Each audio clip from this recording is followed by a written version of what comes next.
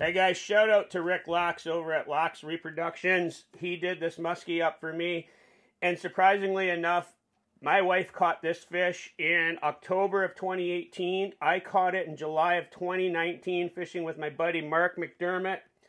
Mark got this fish done up for me as a gift, and because of COVID, he couldn't get back up to Canada. I just met up with Mark at the Minnesota Muskie Show over the weekend, and I got this. I can't wait to put it up at our cabin, and it's going to be something that Kyla and I will always remember because we caught this very same fish, re released it, and hopefully it's still out there.